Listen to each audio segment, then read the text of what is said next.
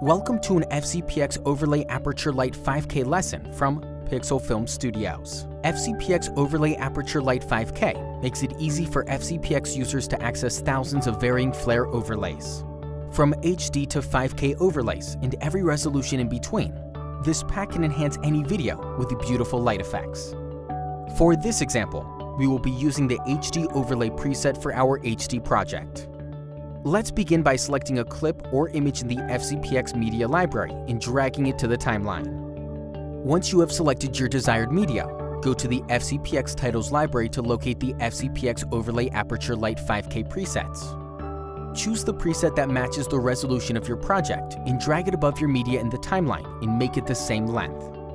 Now that you have everything ready to go, it's time to customize the look of our light. Select the title layer and go to the inspector window. The sample slider allows you to change the look of the light. Each number along this slider is a different lens flare composite.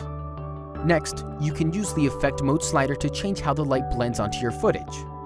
If you would like to change what side of your screen the light source is on, you can check the flip vertical or horizontal checkboxes. The overall opacity slider controls how strong your overlay will be.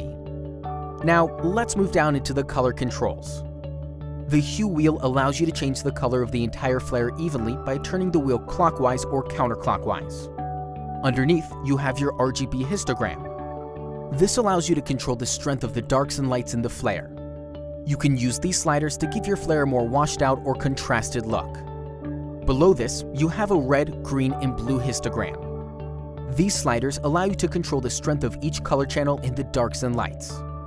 Then once you have your final alterations, you can choose how strong you want your changes to come through with the opacity histogram slider. Now it's time to adjust the light controls. The brightness slider can make the entire flare brighter or darker. The contrast control can help you get a more defined shape and color out of your flare, or it can help give your flare a more washed out look.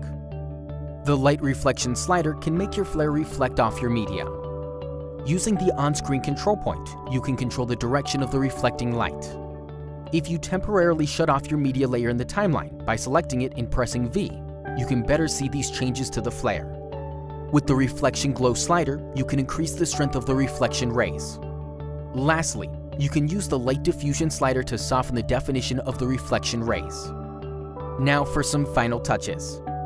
Let's bring our flare to life by customizing the flicker controls. The flicker intensity allows you to control how much the brightness changes with each flicker. Using the flicker mode drop-down menu, you can choose to make the flicker add light, take away light, or do both. The frequency slider allows you to control the speed of the flickering, and the noise allows you to control the jitteriness.